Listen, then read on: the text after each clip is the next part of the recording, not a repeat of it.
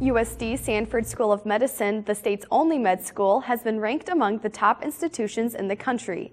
The U.S. News and World Report put the Sanford School of Medicine in the number 9 slot on the top 10 list of graduate schools for rural medicine.